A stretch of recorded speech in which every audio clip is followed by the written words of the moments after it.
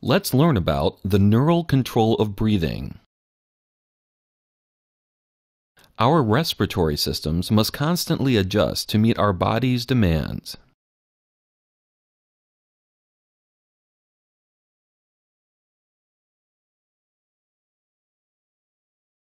Information must travel from the nervous system to the diaphragm in order to control breathing.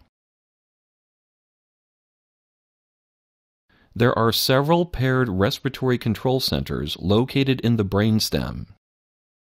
These are specifically located in the pons and medulla oblongata. The respiratory centers in the medulla are called the respiratory rhythmicity centers. These consist of two groups of neurons called the ventral and dorsal respiratory groups. These areas send information to the diaphragm and intercostal muscles in order to control breathing. The dorsal respiratory group is always functioning during breathing. It works to regulate breathing rate and rhythm and is sensitive to blood pH, carbon dioxide, and oxygen levels.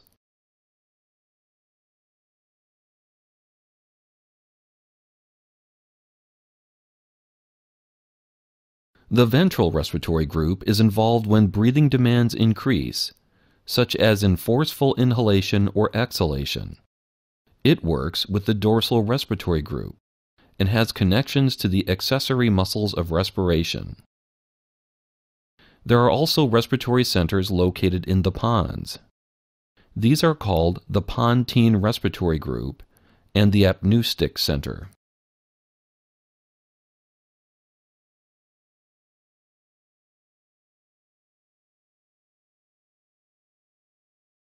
The pontine respiratory group receives information from higher centers in the cerebral cortex, limbic system, and hypothalamus, and sends information to the medullary respiratory centers to adjust the depth and length of breathing.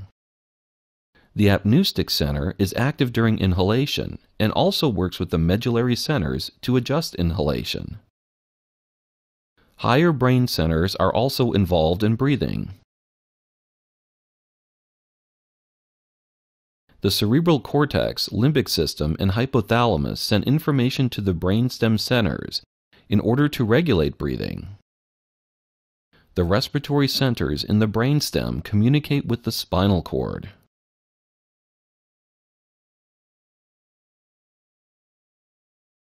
Information exits the spinal cord at three spinal nerve roots C3, 4, and 5 which contribute to the phrenic nerve that innervates the diaphragm.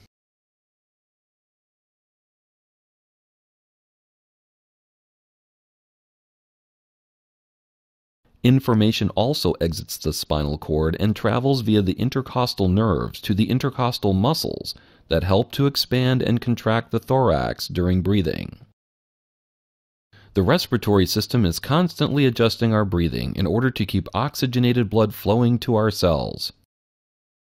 We hope you have learned something about the neural control of respiration, and see you next time.